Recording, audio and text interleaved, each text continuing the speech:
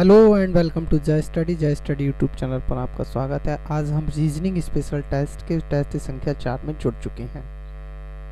आइए देखते हैं इस चौथे टेस्ट का प्रश्न संख्या एक। एक वास्तविक शब्द दिया गया है और इसने पूछा है कि दिए गए शब्द से कौन सा जो ऑप्शन है वह नहीं बर, कौन सा ऑप्शन बनाया जा सकता है? क्योंकि शब्द में मुझे जो दिया गया है कि दिए गए इंटरनेशनल शब्द से कौन सा ऑप्शन बनाया जा सकता है। तो देखिए एनुअल में यू आया, यू वास्तविक शब्द में नहीं है, लेमिनेशन में एम आया, एम वास्तविक शब्द में नहीं है, टर्मिनेट में एम आया नहीं है। बचता है, इंटरनल तो देखिए, इंटर और नल। इसका मतलब ऑप्शन नंबर चार बनाया जा सकता है। तो प्रश्न संख्या एक का सही आंसर हो जाएगा ऑप्शन नंबर चार। प्रश्न संख्या दो। प्रश्न संख्या दो में दिया गया है, शब्द एक निश्चित कोड में रेलवेज को कुछ लिखा जाता है, सिक्स एट फोर ज़ीरो। तो इसी प्रकार से पॉजिटिव को क्या लिखेंगे? देखिए रेलवेज को दो भागों में डिवाइड कर लेते हैं रेल प्लस बेस इरा अब रेल के लिए मैं अगर अंग्रेज़ी वर्णमाला के अनुसार अगर लिखता हूँ तो हो जाएगा 18 प्लस एक प्लस नौ प्लस बारह. देखिए, अट्ठारह, बारह, तीस, नौ और एक, दस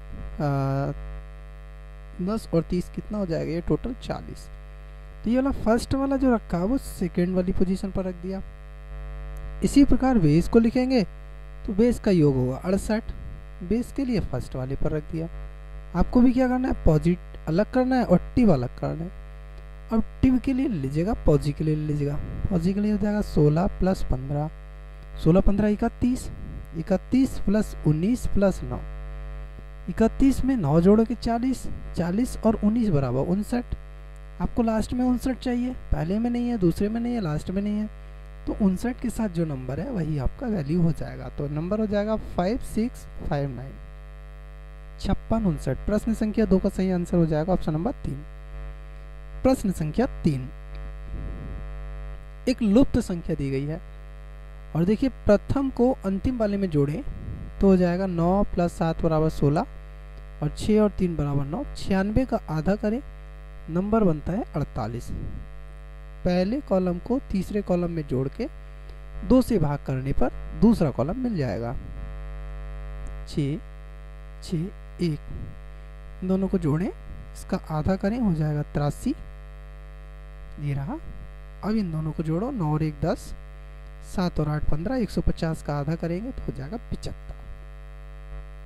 इस स्थान पर, अर्थात क्वेश्चन मार्क के स्थान पर आ जाएगा सेवन फाइव तो प्रश्न संख्या तीन का सही आंसर हो जाएगा ऑप्शन नंबर तीन। आइए चलते हैं प्रश्न संख्या चार की तरफ़ और प्रश्न संख्या चार आपकी स्क्रीन पर आ चुका है और ये प्रश्न हमारा समुच्च का है। इसने कहा है कि अधिकतम मेल खाता हो वह ढूंढना है। अंतर लेंगे छ और दो छब्बीस, अंतर लेंगे दो और पाँच बावन। तो देखिए, छब्बीस का दोगुना करो तो कितना होता है? बावन। ऐसा आपको अंतर लेना है। दोनों का अंतर अट्ठाईस और ये हो जाएगा एक और पाँच इक्यावन। दो गुना वन नहीं रहा, गलत हो गया। दूसरे में देखिएगा। नौ छ और चार। गलत हो गया। तीसरे में देखिएगा। तीन, दो छ चार। तो देखिए, तेईस दूनी, छियालीस। इसका मतलब ऑप्शन नंबर तीन एक ऐसा ऑप्शन है, जो कि उसी कॉन्सेप्ट पर है जिसमें हमारा वास्तविक समुच्चय दिया गया है। तो प्रश्न संख्या चार का सही आंसर हो जाएगा ऑप्शन नंबर तीन। प्रश्न संख्या पाँच। लुप्त संख्या बतानी है तो देखिए सात का वर्ग करें, माइनस नौ का वर्ग करें, नंबर होता है बत्तीस।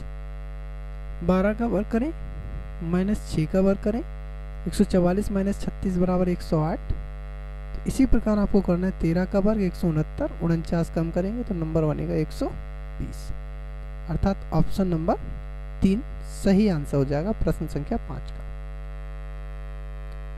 ये थे हमारे रीजनिंग स्पेशल टेस्ट संख्या चार।